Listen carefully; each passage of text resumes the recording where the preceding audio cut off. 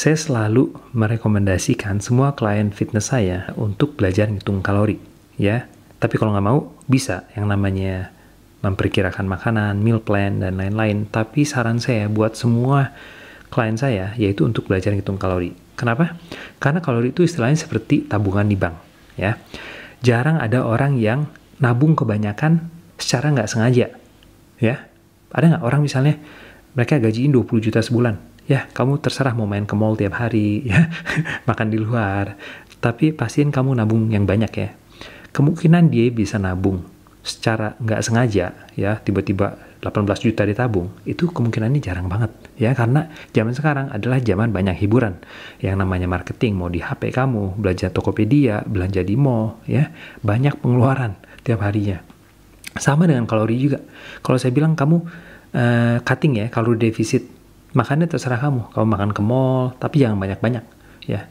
Nah ini masalahnya. Banyak makanan zaman sekarang yang terlalu enak. Ya mau itu donat pakai MSG ya pecin gula kebanyakan minyak ya. Mudah banget untuk makan kebanyakan. Kalau kamu lagi cutting bakal mudah banget. Kamu makan di luar ya. Kamu makan apa pun. Rata-rata makanan zaman sekarang tuh terlalu enak dan banyak banget junk food. Kamu ke supermarket juga semua makanannya junk food ya banyaknya. Makanan kemasan ini alasannya saya bilang selalu ngitung kalori. Ya, selalu rencanain uh, makanan kamu tiap hari, selalu rencanain uh, setiap kali kamu pergi ke supermarket untuk belanja makanan. Karena kalau kamu ke supermarket, kamu nggak siapin shopping list ya, kemungkinan besar kamu bakal ambil segala macam yang kamu pengen makan. Apalagi kalau kamu uh, pergi shopping ke supermarket pas lagi lapar, gitu. Jadi balik lagi ya, Kenapa penting untuk belajar hitung kalori? Karena makanan zaman sekarang itu rata-rata rendah nutrisi, tinggi kalori. Ya, dan itu penyebab uh, utama banyak orang yang makan kebanyakan. Dan dengan mengetahui yang namanya kalori ya dan juga makronutrien, mikronutrien, segala macam vitamin, mineral, ini adalah kunci keberhasilan.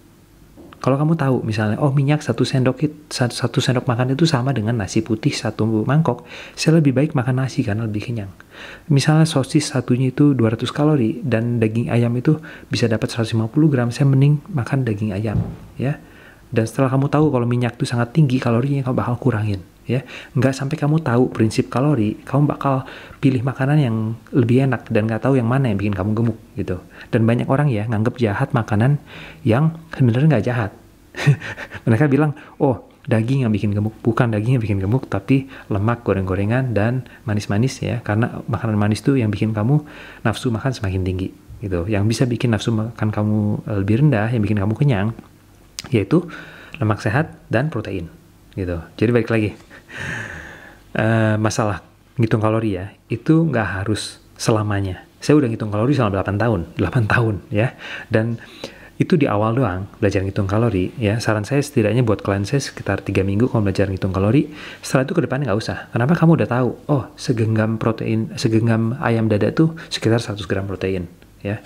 Oh ini dalam waktu saya masak telur tadi sekitar setengah sendok uh, makan minyaknya jadi kamu udah tahu oh sekitar 40 kalori ini makanan jadi kayak misalnya kebutuhan protein harian, saya butuh dua kali berat badan. Kamu udah bisa kira-kira gitu.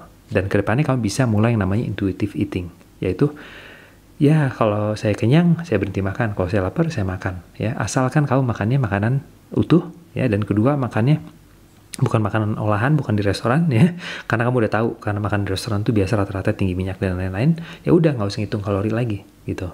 Ya, jadi inilah kenapa penting untuk belajar ngitung kalori karena jarang orang ya, jarang orang lagi pengen cutting secara nggak sengaja tiba-tiba makannya terlalu sedikit. nggak ada yang orang nggak sengaja nabung kebanyakan gitu. Oke, segitu aja, segitu aja untuk kesempatan kali ini. Semoga video ngebantu dan sampai lain kali.